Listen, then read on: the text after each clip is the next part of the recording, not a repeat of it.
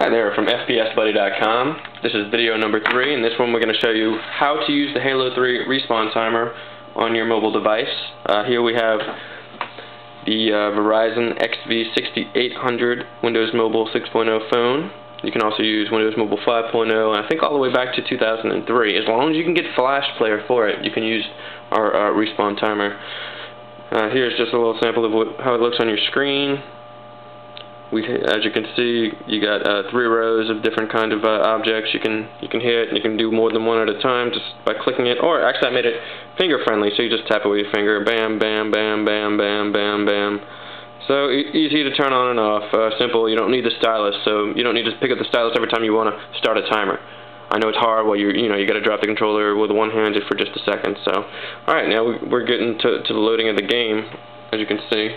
Uh, looks like it might be last resort unless it gets vetoed. So I'm going to go ahead and go back to the original screen where you select your where you select your um, map and game type. Oop, I might have clicked the wrong thing. Alright, so let's see if it gets uh, vetoed. So just in case it doesn't, I'm going to go ahead and click last resort on Team Slayer game type.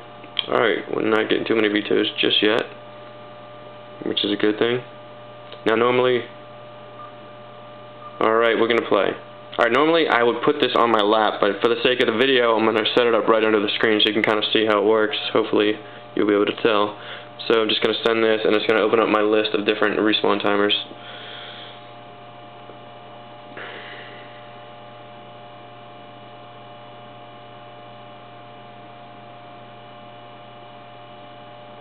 Alright, now the game started. So I'm going to go ahead and put this right here.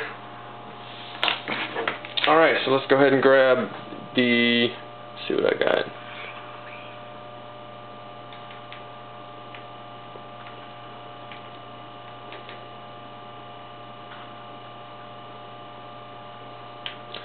Let's go ahead and grab a battle rifle. Make sure I have no enemies around. Oop, that guy just took my battle rifle. Alright, that guy's dead. I grab the battle rifle and then click it right here start the 15 second timer. So we just sit back and wait for it to come up. There's my 10 second warning.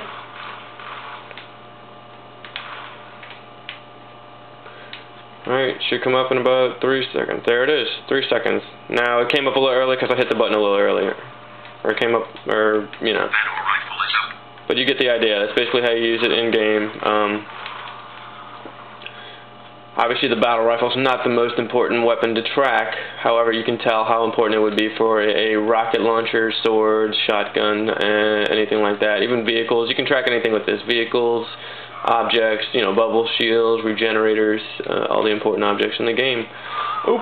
Alright, and with that uh, depressing shotgun death, I'm going to end this video. Um, but uh, that's pretty much it for video 3. So, uh, Thank you for watching. Come check us out at fpsbuddy.com.